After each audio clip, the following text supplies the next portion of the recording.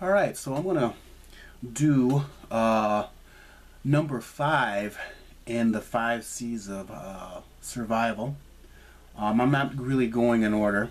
Uh, there, uh, according to um, where I got this from, is from uh, Dave Canterbury of a Dual Survival series.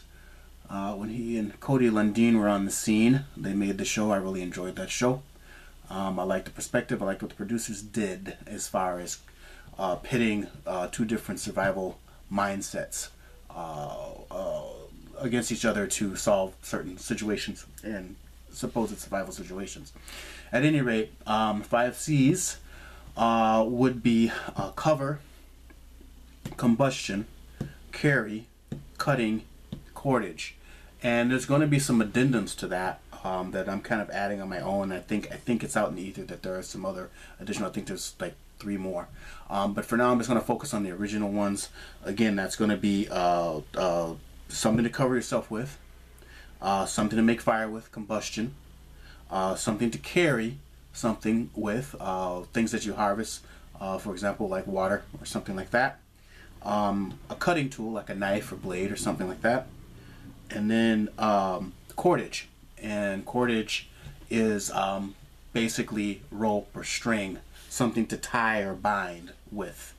Uh, and in the there's a sacred order uh, in survival, uh, and what I learned uh, as a uh, tracker school student was that um, there are three elements to the sacred order of survival, and that is um, shelter, fire, and water.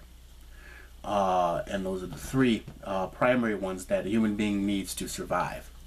Many people will say, will talk about, uh, well, what about food? Yeah, we can last pretty long um, without food. Food is essential, and many different schools of thought will include include that as a fourth element. Uh, and then even jokingly, because of the utility and the varying uses and the endless uses that you can you can use with a piece of string or rope or cordage, uh, oftentimes uh, they'll replace replace food uh, with cordage, or they'll add it on. So it'll be shelter, fire, water, food, and cordage, or shelter, fire, water, cordage. Uh, and I, I kind of almost concur with that that thought. Although I do, I, I am I, am a stickler for the primary three: shelter, fire, water, in the sacred order. Um, but cordage is a very uh, very important tool and uh, it's important to know how to manipulate it, uh, which is another aspect of it. And so what I have here is I've kind of two sides. I've separated some things out for the most part. I have uh, some primitive cordage, uh, and we'll talk about that first. And then there's the more uh, modern uh, cordage or rope, twine, that sort of thing. And so um, what I have here is I have some some raw examples. And in previous videos that I have, uh, I've, I've used uh, velvet leaf as a plant that provides uh, cordage, fibers for cordage, uh, dog bane as well. Uh, the inner bark of many trees like basswood and slippery elm work pretty well. and even um, in some areas where yucca or yucca grows, that's a good source for fibers or cordage. from, from a natural standpoint, um, there's many different different plants that are out there that will provide um, serviceable fibers to make cordage or will serve as a lashing uh, in, a, in, a, in, a, in a pinch. Um, in my region, dogbane uh, is very, very strong natural fibers. Uh, and again, you know, look up my videos for that, dogbane. Uh, and milkweed is another. The inner bark of basswood is another. Um, slippery elm, like I mentioned, uh, the inner bark of that uh, is is another. Um, and those are just right off the top of my head. There's a whole list of different plants that provide uh, cordage. I'll try to dig that up and, and, and post a link to that um, if I can, find it. I, I, I, think I know where it is. Um, uh, but and, and nettles, nettles definitely. Uh, stinging nettles uh, provide really really good cordage uh, as as a, as a ubiquitous plant, at least in my region. And depending on where you are at, uh, there will be the same or similar or differing plants that grow that will provide uh, natural fibers to make cordage from. And so what I have here is I actually have some. Uh, these are fibers from. Let's see here. I'm just gonna. Yeah, these are these are dog bane fibers, and I think I, I did grab the right bag that are showing them. I didn't have any raw stocks um, available right now, but this is dog bane fibers at different stages of um, processing. So like these this fibers here are right off of the plant, and it's very very very strong fibers. Um, you, you, they're, they're strong enough for bow strings, uh, and and and for making uh, the bow drill strings, and they're very they look they have a look-alike uh, like such as milkweed, um, but once you really get to know those two plants, then they're hard to misidentify.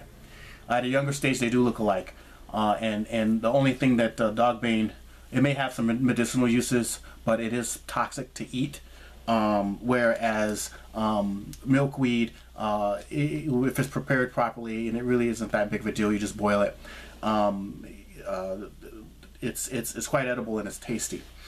Um, especially at its younger stages, and that's they look alike, and so that's why it can be kind of dangerous when they're younger. As they get older, it's easy to differentiate. I have another video on that as well if you're if you're interested. Uh, at any rate, um, this is the, the, the, the, raw fibers right off of the stalk. Uh, you harvest uh, dog bane uh, and and and uh, milk and or milkweed, and even um, well dog bane and milkweed you can harvest in the the fall throughout the winter. Um, in the spring, the older stalks you won't do that because the weather is beating them up and the fibers are kind of brittle. Uh, stinging nettle, you can harvest that midsummer towards the end of the summer, and they're they're really tall at that point, and uh, they provide a lot of lot of the, the whole stalk provides a lot of uh, fibers for you. Um, this is dog bane fibers that I've actually combed out. Um, I took some some dog brushing, uh, some dog brushes, and basically carded them as that's a that's a that's a um, a knitting or a yarn making or a spinning term. Is where you take your fibers and with your combs you you kind of you, you, you, you basically brush out the fibers and you brush you from the shaft or the, the bark. And so you get this nice cottony uh, type fibers that you can then uh, manipulate and uh, spin this into actual string um, or you know or, or rope or yarn so these are the natural raw fibers like this. This also would make a good tinder bundle. This would too. Uh, and then using reverse twisting methods from this type of uh, stage of the fiber, you can actually get some pretty strong and serviceable cordage like this. And this is reverse twist twisted, um, and I've got videos on that. Um, and this is what it looks like. It kind of looks like regular kind of rope almost, right? And this, by twisting it, you you you you strengthen the fibers when you twist it. And uh, and then this is this is. I hope you can hear that. This is really strong natural fibers, and this is just you just just completely made this off the land. Uh, if the stalks are right, I can uh, harvest the stalk, strip the fibers, and twist cordage all within five to ten minutes, and I could have serviceable cordage like this, really quick and dirty, real quick and easy um, in, a, in a real tight situation. Um, let's see, from a natural standpoint, what do I want to what I want to show next? I'm gonna put this kind of back in the bag a little bit because this kind of gets in the way. Um, you know, using uh, natural cordage, I can um, I can make a um, I can make uh, this kind of fishing gear, and this is made of dog bane. And this is a um, this is a piece of bamboo I got from a local uh, Asian market, and um, I'm using this as kind of my reel. And then here I have a piece of corn cob as a float that I've just bored out and ran my cordage through, and then I've uh, twisted this, and at the very end, um, I've just attached a thinner piece of uh, dog bane that's twisted, and then at the very end is a gorge hook. Gorge hooks work if the size is right uh, for the fish that you're after. Gorge hooks very will work very well for fishing um, and catching fish. Um, so this is kind of my my my very primitive you know rod and reel, if you will. Um, this kind of a, a, of fishing just a drop line for, for drop line fishing. So uh, that's what that's one of the many uses of cordage, natural fibers, that I could use, and this is an example of of a primitive use of that. And I've got a few more that I'll share as well, just to kind of give you some ideas, right? Um, uh, cordage is the the basis uh, for making um, fabric, right? So this here, this is store-bought jute fibers, and you can just basically twine. You can go to pretty much any hardware store or hobby shop or whatever and buy, you know, little spools of this. And this is finger woven, and this is finger weaving. And so just by finger weaving this, um, I've made the strap that's really strong. Um, and it's natural fiber. I didn't harvest those fibers. I bought them from the store, like two or three bucks. Um, but I've been able to make the strap, and I haven't, you know, I haven't, you know, it's just one of those projects that you do when you've got some time on your hands, you're watching TV, you're listening to audio audio book or whatever, uh, riding the bus or whatever. Um, you can just whip this out and just kind of create a project, and once you get in the flow, you can almost do this without looking, or it becomes very relaxing or meditative, if you will. Um, but using cordage, I can then make fibers, right? So uh, nålbinding and knitting are examples of that using uh, spun, usually spun fibers uh, from from wool uh, and uh, other plant materials. And by the way, I forgot to mention that uh, sinew from deer, elk, antelope, bison, that sort of thing, so those sorts of animals, bovine animals, is the nat the strongest natural cordage that you can create. You know, you you you, you harvest the sinew from the animal animal, and that's usually the Achilles tendon of the hind legs. Uh, there could be some in the forelegs, but the bigger, thicker, stronger ones are there, and then the back strap uh, underneath uh, the loin or the back of the animal uh, is where you get your long, long strips of uh, sinew, and that's very once you you you you you, you process that. Um, pound it out and then twist it into cordage is very very strong. Um, the thing is is that uh, sinew tends to be water soluble, so if you get it wet, it gets floppy again. Um, but it has its own natural glue, so once it dries it's, and you twist it, it's, it's going to stay. Um, but you have to get that type of animal, like I said, deer, antelope, bison, elk, um, water buffalo. You know, you you get the idea. Um, that kind of tendon is what makes sinew after that is dog bane, at least in my region, as, as far as a, a strongest natural fiber. So number one, natural fiber wise, is, is sinew. Number two is is dog bane or uh, Apocynum cannabinum, I believe, is the Latin term for uh, uh, dog bane. So, anyways, back to the uses of cordage. Using cordage, you can weave and or knit uh, or uh, nålbind uh, which is basically needle knitting. it's a one needle with a hole in it, and it's the it's it predates um, knitting, as a matter of fact. And uh, you can make all kinds of items with it. And I think it, I think that what they say is it's uh, about 6,000 plus years BC that they have remnants of cloth or material that has been nålbinded. So it predates uh, knitting. Um, here, using um, I think synthetic cordage I knitted my uh, daughter uh, just a kind of a little kind of little hand towel or something like this. And obviously you can see it's pink but you can see the fibers. That's what knitting does. And knitting as opposed to nålbinding you're using two uh, sticks. Your chopsticks will work or whatever but um, they're two sticks and you're basically chaining or looping together uh, cordage lengths of cordage to create a mesh which then creates your fibers. Um, so you know, those kind of skill sets, again, you know, people that are in survival and prepping and stuff like that, um, knitting and nålbinding and finger weaving, it all seems very, how we say, unmanly or very, you know, femmy, if you will.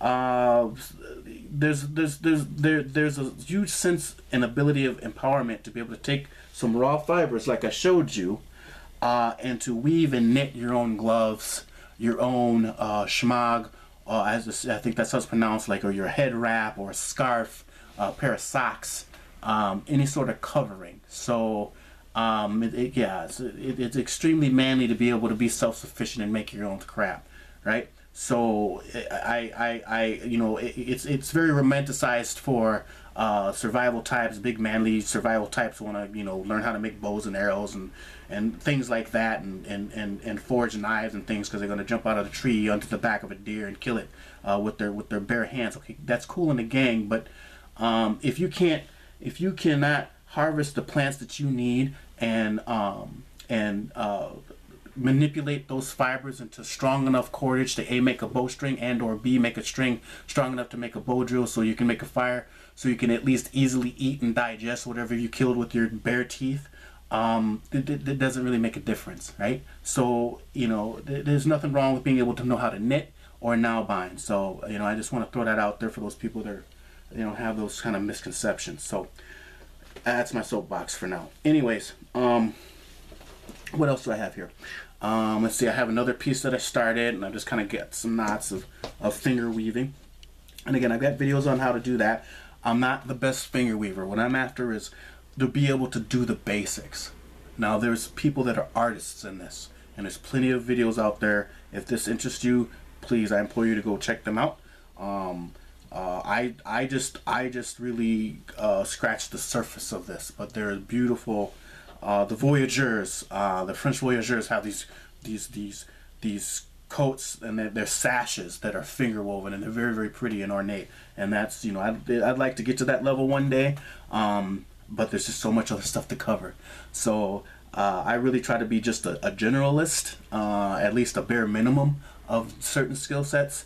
Uh, but if this is something that you're really into or you, you find real value in it, please by all means go research it and you'll find a plethora of material nowadays that we are in the information age and the age of Google. Um, you'll find all kinds of information on how to really finger weave and to knit and to nålbind. Um, let's see here. What else we got here? I've got some natural cordage here. Uh, I have basically whipped this uh, into um, just kind of a loop or easy way to carry this. And I will kind of show and I'll, I'll, just show a couple of basic knots. I'm not really, this is not a knot video. Um, but uh, uh, just to give you an idea, it's important to know how to manipulate your, your, your fibers or your cordage. And this was two pieces. Um, and I will do this in one piece actually. So this is just a length of, um, oh, it's two lengths. That's so long ago. Anyways, um, it's a length of, of, uh, of dog bane you know, I've been working a lot with dog bane, and uh, really I can kind of take this and I just go in and out of my fingers, my, my between my little finger and my thumb, like this, right? And then I can take uh, another piece, which is what I'll do, and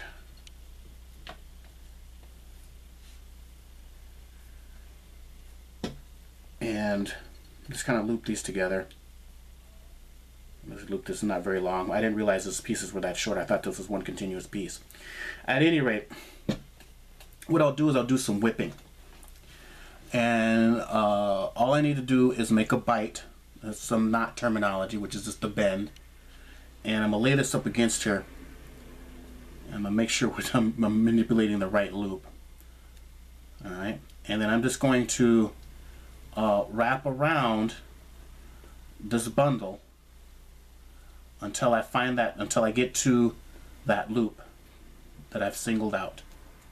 And then I'm going to take this end here and feed it through the loop and then find the end of the loop and it's in my bundle here and if I pull on it I know I've got it and then all I have to do is pull it and then I don't pull it all the way through, but that'll keep it all locked and neat. All right. Again, I've got a video on how to do whipping as well, so I won't really waste a lot of time on on this sorts of things. Just for this video, it's just a kind of overview of cordage. Um, what else I got? So